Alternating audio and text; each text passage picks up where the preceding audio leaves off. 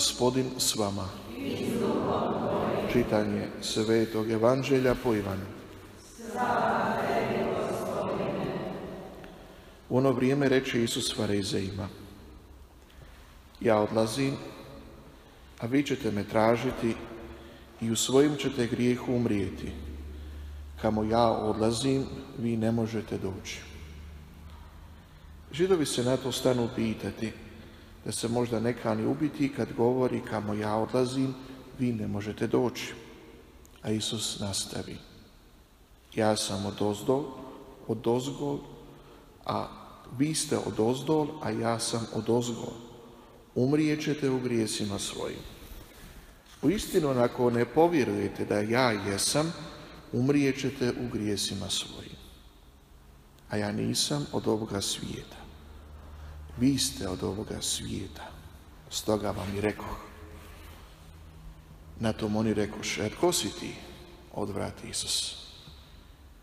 Da što sam vam s početka govorio da opet zborim. Mnogo toga imam o zboriti i suditi, no onaj koji me posla istinit je i što sam čuo od njega, to ja zborim svijetu. Ne shvatiše da im govori o ocu. Isus im reče, kad uzdignete sina čovječijega, tada ćete spoznati da ja jesam i da sam od sebe ne činim ništa, nego da onako zborim kako me nauči otac. Onaj koji me posla sa mnom je i ne ostavi me sama, jer ja uvijek činim što je njemu milo. Na te njegove riječi mnogi povjerovaše u njega. Riječ gospodnja.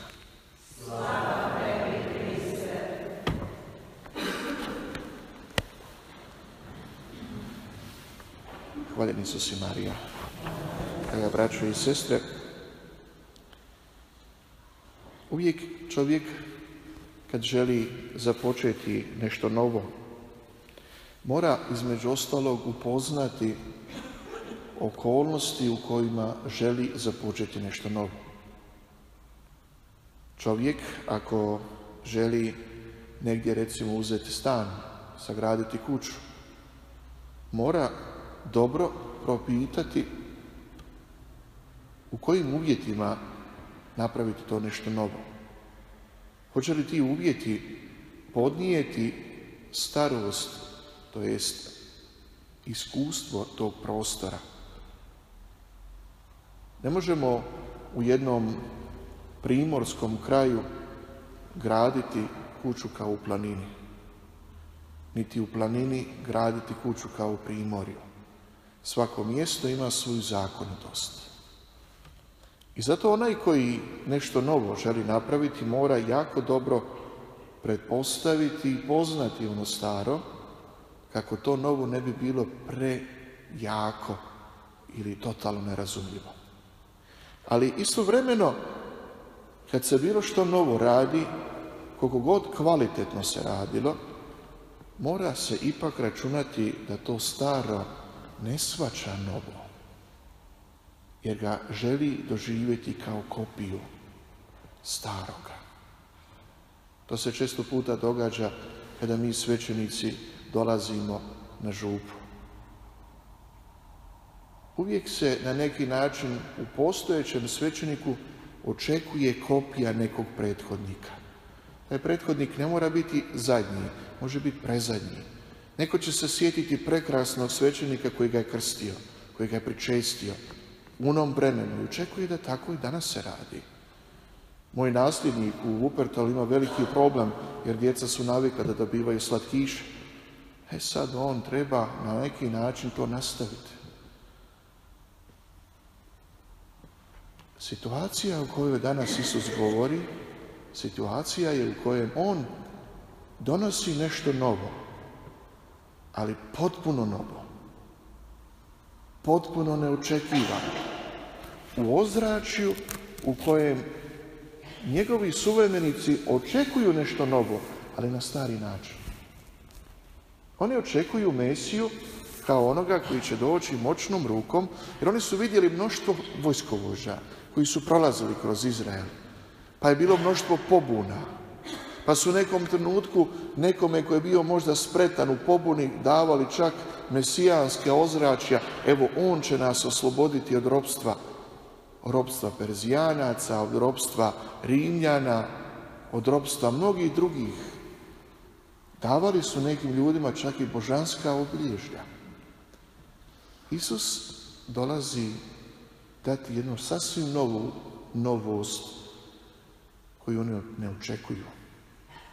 Prvi njegovi učenici ga nisu razumjeli. Prvi njegovi učenici ga nisu razumjeli. Jer su sasvim drugačije očekivali tog Mesiju kako će izgledati. No Isus ih upozorava za života govoreći o nekim stvarnostima koje se imaju dogoditi. Isus je jako dobro znao kako će njegov zemaljski život završiti. Ali isto tako jako dobro znao da je to način po kojem će zbilja pokazati s kojom cijenom Bog računa da bi se približio čovjeku. S cijenom da bude odbačen, ali da ne odbaci čovjeka. S cijenom da bude povrijeđen, ali da ne uzvrati čovjeku jednakom mjerom. I da s tim pokaže novi model koji će u mnogo čemu promijeniti stare navike. I u trenucima kada Isus govori o tim stvarima, oni su prvo pomislili, on se misli ubiti. Poludio je. Ljudskim mjerilima mjeriti ono što Isus činio i na način kako su ga doživljavali prvi njegovi učenici, a onda i oni ostali, kažu neko normalno bi stvarno dignuo ruku na sebe. Isus se mučio zbilja sa svojim suvremenicima. I ovdje je zato zanimljiv jedan redak u kojem kažu, oni ga ponovo pitaju ko si ti? Hoćeš da ti sve ponovimo od početka. Mi možemo u ovom trenutku reći, pa kako ga oni nisu razumijeli? Iz jednostavnog razloga što oni nisu očekivali novo, nego su htjeli novost na svoj stari način. Zašto je to bitno, brate i sestro? Ponoviti i posvijestiti. Mi mnogo puta imamo ispit savjesti. I u tom ispitu savjesti propitkujemo svoj odnos prema sebi, prema bližnjemu, prema Bogu. Možemo i obrnuto. Prema Bogu, prema bližnjemu i prema sebi. Čemu stavljamo težište u tom promišljanju? Što smo dobro učinili, što smo loše učinili. Što nam je omjer po kojem ćemo razlučiti dobro od lošega? Po kojem ćemo razlučiti ono što treba naravno ponavljati jer je dobro i ono što treba prekinuti jer je loše. Nažalost, mnogo puta naš odnos prema sebi u ispitu savjesti zna biti odnos povrijeđenosti koja traži izliku ili osvetu. I da će netko reći, ja jesam učinio grijeh, ali imam razlog. Zbog toga, zbog toga i zbog toga. Ili neko će reći, ja želim biti bolji, ali imam razlog, jer se bojim da me Bog ne bi kaznio. Brate i sestro, jedan i drugi način je kriv. Najbolji način je ja želim biti bolji zbog mog Boga. To bi se u biti jako lijepo moglo reći kad netko nekoga jako dobro poznaje, kad netko nekoga jako dobro voli, kad netko nekoga jako dobro poznavajući u ljubavi prihvaća onakvim kakav je. Strpljivo iznosi ono dobro s nakanom da sazrije spontana odluka da neko se popravi. I da će neko reći, zbog tebe imam potrebu biti bolja osoba. Ne da bi te zadržao kao prijatelja, kao partnera, partnericu, muže, ženu, ne. Nego zbog tvoje osobnosti imam potrebu, poticaj biti bolja osoba. I bi mi kao kršćani rekli, zbog Božije osobnosti, zbog Božije širine, veličine, dubine, imam potrebu biti bolja osoba, ne zbog straha da me Bog ne bi kaznio ili zbog motiva da bi me ljudi hvalili ili se ja bolje osjećao, nego zbog potrebe da u toj boljoj budućnosti svog života zahvalim prepoznavajući tu milost s kojom Bog meni pristupa. I tome služe i molitve, i promišljanja, i razmišljanja, i propovjedi, i, i niz pobožnosti i bilo čega što se čini. Da se čovjek zbilja približujući Bogu preobražava u bolje biće.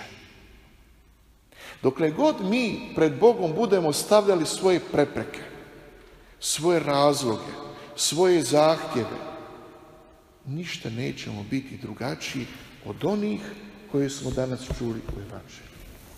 Ništa se neće manje Isus mučiti i s nama nego što se mučio sa svojim suvremenicima. I tu se mnogo puta očituje da netko tko na izgled izgleda zbilja bliz Bogu, redovito u crkvi i sve, ali opet prazan. Da se ta praznina očite u tome da se stvaraju dva kolosijeka. Božjeg očekivanja i mojeg očekivanja. I nikako da se spajaju. Ali kad se spoju ta dva kolosijeka, da postanu praktično jedan kolosijek i dvije tračnice koje su povezane, onda dišem s Bogom. Onda djelujem s Bogom. Onda Bog kroz mene čini obilje dobra prvenstveno. A onda mom bližnjem. I upravo pokušajmo na takav način stvarati motivaciju svojih duhovnih planova, duhovnih promišljanja. Više smo puta spomenuli da korizma nikako nije trenutak bilo kakvih estetskih promjena, nego prvenstveno promjena našeg pristupa stvarnosti. Pokušajmo zbilja u takvom odnosu i pristupiti ovom današnjem čitanju. Amen.